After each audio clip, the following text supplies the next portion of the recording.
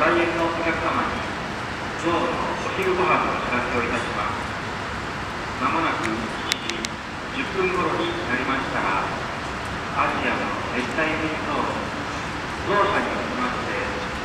ゾウたちに餌である草を与えますご近くのお客様は7時10分頃になりました。らアジアの熱帯雨林